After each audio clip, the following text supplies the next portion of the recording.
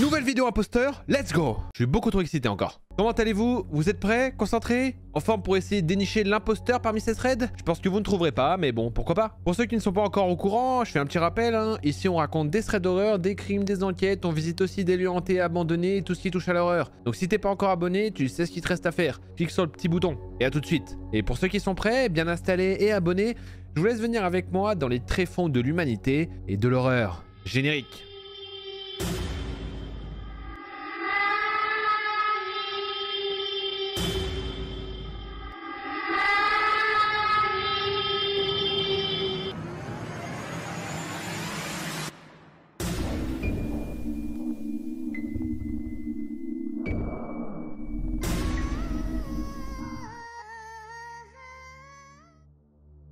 La première histoire, c'est celle de Alena. À l'heure actuelle, elle explique qu'elle vit en Polynésie française, à Tahiti, mais que cette histoire s'est déroulée lorsqu'elle habitait sur une île voisine, Raiatea. En juin 2014, elle venait d'emménager dans une grande maison située au pied d'une montagne. La maison comptait 4 chambres, une grande terrasse, un immense jardin, deux garages proches, une salle de bain, un toilette, une cuisine, un salon et une petite pièce reliée à la cuisine et au jardin utilisée comme buanderie. Dans l'arrière-cour, à côté des deux garages, se trouvait un portillon menant vers la montagne et les maisons voisines. En tout cas, c'est une sacrée baraque. Hein Dès le début, Alena n'aimait pas du tout cette maison. Elle la terrifiait. Elle ne serait pas expliquée pourquoi, parce que c'était très inhabituel, car elle n'avait pas peur du noir ni de quoi que ce soit. Cependant, chaque nuit, elle était prise de violentes crises de peur, spécifiquement la nuit. Sa chambre était en face de celle de ses parents et sa mère lui suggérait de laisser la porte de sa chambre ouverte. Mais à chaque fois qu'elle se couchait, en regardant le long couloir sombre de la maison, elle avait l'impression que quelqu'un était présent et attendait qu'elle s'endorme. Bonne ambiance. Je me chierais dessus aussi. En juillet 2014, alors qu'elle venait de déménager, une enfant a été placée en urgence dans sa famille. Cet enfant, qu'elle nomme Anna,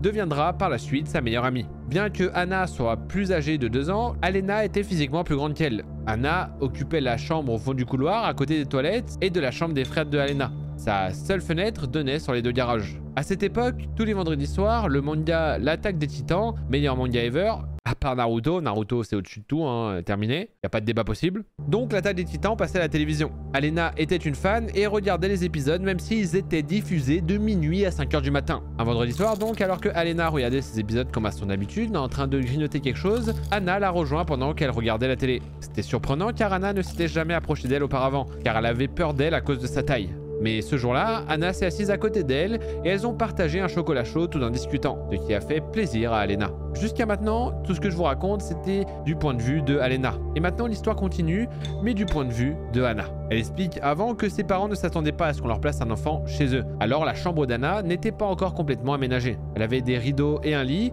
mais sa fenêtre était la seule à ne pas avoir de moustiquaire. Ce vendredi soir donc, quand Anna a rejoint Alena, Anna, juste avant ça, essayait de dormir dans son nouveau lit placé sous sa fenêtre. Cependant, elle n'y parvenait pas. Alors, elle est restée allongée, le regard fixé sur les fissures du plafond. Soudain, un bruit assez fort la fit sursauter. Elle regarda autour d'elle, mais il n'y avait rien. Par peur, elle n'alluma pas la lumière. Le bruit était similaire à des coups contre une vitre. Toc toc toc. Toujours en trois répétitions. Avec hésitation, elle souleva le bord du rideau et jeta un rapide coup d'œil à la fenêtre de sa chambre, mais bien sûr, il n'y avait rien.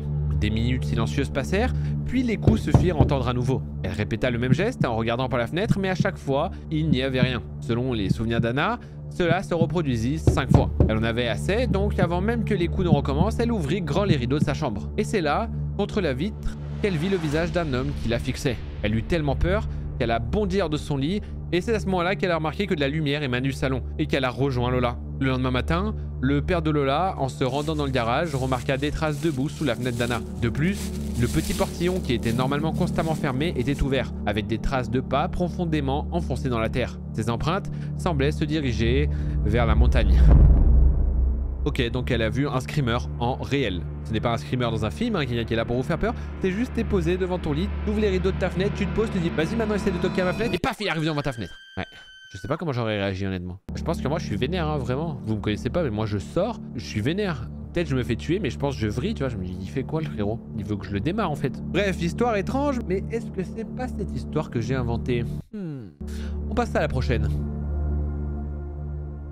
Cette histoire, c'est l'histoire de Léo, et il explique qu'il est nouveau sur Reddit et il a envie de raconter une histoire qui lui est arrivée en juin, c'est-à-dire il y a environ 4 mois. Il s'appelle donc Léo et il a 17 ans. Pour le mettre dans le contexte, il vit avec ses parents et ses trois frères dans un quartier très calme en pleine nature, légèrement reculé du centre-ville. C'est un domaine privé avec une petite forêt et une centaine d'habitations. Léo a vécu toute son enfance là-bas, donc il connaît le domaine sur le bout des doigts. Ce qu'il veut dire, c'est que les moindres recoins, toutes les rues, tous les sentiers de la forêt, il connaît tout par cœur. On est donc en juin et les parents de Léo sont invités à une soirée barbecue chez les parents d'élèves. En effet, les deux parents de Léo sont professeurs dans la seule école primaire du quartier. Et puisque tout le monde se connaît, ils ont de bonnes relations avec les parents d'élèves et sont même parfois très amis. Les parents de Léo étaient donc invités chez une famille qu'ils connaissaient très bien et ils ont proposé à Léo et à ses frères de venir étant donné qu'ils avaient aussi des enfants. Léo va donc là-bas à cette soirée barbecue et tout se passe extrêmement bien. Aux alentours de minuit, Léo veut rentrer mais ses parents et ses frères veulent rester. Comme Léo l'a dit, le domaine est très simple et très calme. Leur maison est à quelques minutes à pied. Léo connaît évidemment son quartier par cœur et il s'y est déjà baladé la nuit de nombreuses fois, même étant petit. En fait,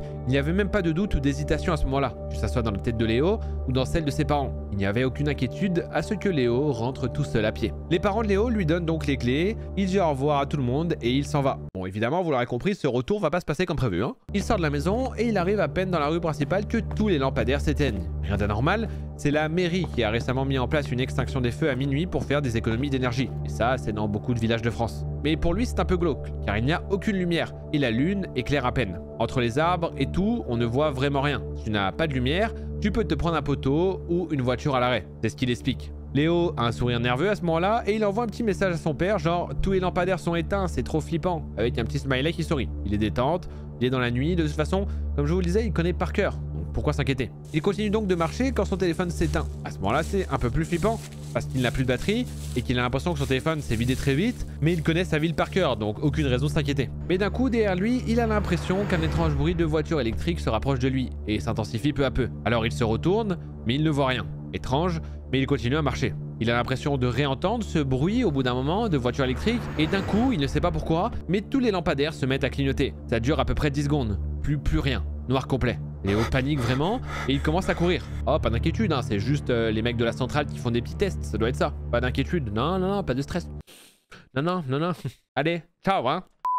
Léo, à ce moment-là, cela dit, il panique vraiment et il se met à courir dans la direction de chez lui. Mais dans sa course, son téléphone se met à sonner, comme quand quelqu'un l'appelle. Il veut répondre, mais son téléphone est éteint. Il a l'air juste de sonner, mais il est éteint. Très bizarre. Hein en regardant son écran éteint, Léo ne voit pas où il marche et il trébuche sur le trottoir. Il se fait une petite égratignure au genou, mais rien de grave. Et quand il se relève, il voit le truc le plus flippant de toute sa vie. Il est dans une rue qu'il ne connaît pas.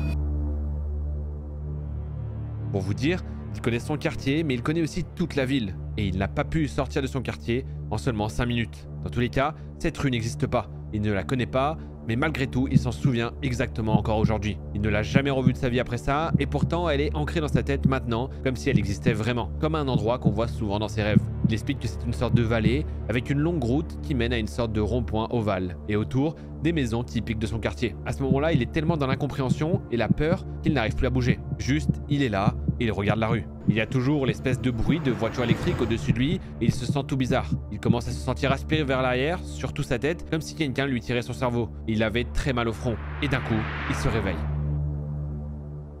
Léo est en sueur dans son canapé et là, il fait une grosse crise de panique. Encore une fois, vous allez sûrement penser une terreur nocturne et c'est sûrement ce que c'est, mais avec la suite, on peut quand même en douter. Il explique qu'après ça, il n'a aucun souvenir d'être rentré chez lui, ni de s'être endormi sur son canapé. Il regarde son téléphone, le flash est allumé, il a environ 40% de batterie. En voulant envoyer un message à son père, il réalise quelque chose. Le message qu'il avait envoyé à son père plus tôt dans la soirée a été envoyé à minuit 2, ce qui veut dire que les lumières s'étaient bien éteintes à minuit. Sauf qu'à un moment donné, quand il avait regardé l'heure, il était écrit minuit 33. Alors comment avait-il pu marcher jusqu'à minuit 33 Et en plus, quand il regarde l'heure à ce moment-là, il est minuit 25. Ça n'a aucun sens. Il n'arrive pas à décrire son état en pensant à tout ça, il est juste paralysé sur son canapé. C'est une histoire de malade, mais je pense qu'elle s'explique juste par une euh, simple terreur nocturne qu'il a associée avec une blessure, etc. Vous savez, c'est, je sais pas si vous avez fait déjà ce genre de rêve, moi oui, mais euh, genre vous avez mal à la main parce que vous êtes blessé et euh, bah du coup quand vous vous réveillez, le temps que votre cerveau comprenne que vous êtes réveillé, vous avez encore mal à la main, tellement c'était réel. Et du coup peut-être qu'il s'était fait ses blessures au genou, qu'il a associé, enfin bref, plein de choses. Je pense que c'est juste ça c'est quand même terrifiant parce que lui, imaginez, est persuadé qu'il était en train de rentrer chez lui à ce moment-là. Enfin surtout, il est rentré chez lui, il est chez lui, il est en train de dormir sur le canapé, il a fait vraiment ce retour, seulement il se souvient pas du retour et il se réveille comme ça sur le canapé, c'est une dinguerie. Bref, pardon. Il explique que depuis ce jour-là, il a une cicatrice en plein milieu du front, super bizarre, et qu'il est persuadé de ne pas l'avoir eu avant. Harry. La cicatrice n'a pas bougé et elle est encore là aujourd'hui. Un petit trou rond, parfaitement au milieu. ça aurait été plus stylé un éclair, mais bon. On pourrait se dire que ça lui est arrivé quand il a trébuché, mais comment ça aurait cicatrisé aussi vite? Il n'y a pas de croûte ou de sang contrairement à ses genoux qui sont bien éraflés suite à sa chute. Mais là, à cet endroit-là, juste une cicatrice étrange. Il explique que personne n'est au courant autour de lui, car il n'a pas envie de passer pour un fou. Encore plus étrange. Mais en vrai, elle serait pas étrange parce que c'est moi qui l'ai inventé? Mystère. Cette prochaine histoire, c'est celle de Mike, et elle se déroule il y a quelques années. À cette époque, Mike était en train de chercher un nouvel appartement. Il avait alors trouvé une petite annonce pour un appartement vraiment abordable dans un quartier tranquille de sa ville. C'est une vieille maison divisée en plusieurs unités, et Mike était tout excité à l'idée de le visiter. Lorsqu'il est arrivé sur place, il a tout de suite remarqué que l'endroit avait un charme vintage, avec des parquets en bois et des grandes fenêtres. Le propriétaire était un type un peu bizarre, un peu froid, mais il semblait pressé de louer l'appartement. Ça pue, ça pue, vous le saurez maintenant, ça pue, ça pue. Le, propriétaire est bizarre, ça pue. Mike a signé donc le contrat et a emménagé peu de temps après. Les premières semaines se sont bien passées, mais il a commencé à remarquer des choses étranges. Les lumières semblaient clignoter de manière aléatoire, les portes grinçaient la nuit et il avait l'impression d'être observé. Au début, il pensait que c'était juste le cas de toutes les anciennes maisons. Alors oui, c'est possible pour certains trucs, par contre te sentir observé, que ce soit le cas pour les anciennes maisons, hmm, moyen moyen. Euh, après, électricité, oui, si c'est vieux, ça peut déconner. Euh, qu'il y ait des trucs qui bougent, alors non, mais qu'il y ait des bruits dans une maison qui travaille, oui. Euh, mais quelqu'un qui t'observe, non. Il n'y a pas un truc genre euh, vieille maison et je me sens observé. Sinon, bah, personne prendrait des vieilles maisons, simplement. Ou alors, vous êtes fou. Par la suite, les choses ont commencé à devenir vraiment de plus en plus inquiétantes. Un soir, alors qu'il était en train de prendre une douche, il a vu une ombre dans le miroir de la salle de bain, passer devant la porte de la pièce. Quand il a ouvert le rideau de douche, il n'y avait personne. Puis, il a commencé à entendre des pas dans le couloir la nuit. Mais quand il allait vérifier, il n'y avait toujours personne. Jusque-là, vous vous dites, paranormal sûrement. Attendez de voir la suite. C'est bien pire que ça, vraiment. Il a commencé à se demander s'il n'était pas en train de devenir paranoïaque. Il a même appelé le propriétaire pour lui parler des problèmes qu'il rencontrait, mais il lui a simplement répondu que c'était une vieille maison et que c'était normal. Non, non, non, non, non, non, non, non, non, je suis désolé, non, non, désolé, j'ai vécu dans des vieilles maisons, ce n'est pas normal, ce n'est pas obligatoire. Il y a des ombres qui passent devant ta putain de salle de bain quand t'es en train de te doucher, non, non Pourquoi je suis en train de faire comme si je chalais alors que c'est pas le cas? Craqué, ah, j'ai craqué, c'est pas vrai faut que j'arrête cette blague, ça va trop loin. Bref, par la suite, la goutte d'eau qui a fait déborder le vase a été lorsque Mike a retrouvé des photos de lui-même prises à son insu dans l'appartement. Des photos de lui en train de dormir, de manger et de vaquer à ses occupations quotidiennes. C'était la chose la plus creepy qui pouvait lui arriver. À ce moment-là, il était totalement paniqué, mais il voulait savoir ce qui se passait. Je comprends aussi ce sentiment. Tu as peur? Mais tu as vraiment envie de savoir. Il a donc fini par installer des caméras de sécurité dans l'appartement sans prévenir le propriétaire pour avoir une preuve de ce qui se passait. Il a attendu quelques jours, quelques événements en plus, Mike un sub, et c'est là que les choses sont devenues encore plus sombres et horribles. Les caméras enregistraient des bruits étranges, des objets qui ont été déplacés, et pire encore, tout cela était du fait de son propriétaire. En fait, il venait la nuit et la journée parfois pour prendre Mike en photo et l'observer, faire du bruit, jouer avec les lumières et plein d'autres choses. En fait, il sait pas vraiment ce qu'il foutait là. Terrifié, Mike a quitté l'appartement du jour au lendemain. Il a laissé les clés dans l'appartement pour le propriétaire et a trouvé un nouvel endroit où vivre. Je pense qu'il aura pas de mal à les récupérer vu qu'il pouvait rentrer euh, tranquillement dans l'appart. Depuis, il est allé voir la police pour les alerter, mais comme c'est la maison du proprio, qu'il a les clés et qu'il n'a rien fait de mal, ils ont minimisé la chose et ont simplement dit que c'était sûrement un proprio prévenant qui voulait vérifier que son appartement n'était pas dégradé. Un proprio envahissant, il voulait dire non? Ou totalement fou. Putain, la police fait quelque chose, wesh. J'espère vraiment, vu qu'ils ont rien fait, c'est pas nous qui allons louer cet appartement un jour. Hein. Mon dieu. Si c'est vous, bah dites-le moi euh, sur Instagram euh, et racontez-moi l'histoire. Même si j'espère que c'est pas vous. Et méfiez-vous de vos proprios. Ah, pas tous, parce qu'il y en a, ils sont 5 pas, mais bon. Moi. Moi. vous ne trouverez jamais. Jamais. Oula, mais j'ai craqué là. Alors, selon vous, laquelle est fausse? Pour donner votre avis, dirigez-vous dans l'onglet communauté de la chaîne et votez pour l'histoire 1, 2 ou 3. Bonne chance J'espère que vous avez été attentif. En tout cas, si la vidéo vous a plu, abonnez-vous. Vraiment Ça serait une erreur de pas le faire parce qu'au mois de décembre, ce qui arrive, vous n'êtes pas prêt. Vraiment, je vais vous rincer. Donc pour ceux qui ne le sont pas, rectifiez dès maintenant votre erreur. Vous ne serez pas déçus. Et bien sûr, likez, commentez en me disant quelle histoire vous avez préférée et partagez aussi pour que je puisse tromper encore plus de personnes. je suis diabolique. Et moi, je vous souhaite une excellente matinée, nuit, journée, ce que vous voulez. Et je vous fais un bisou la famille. Cheers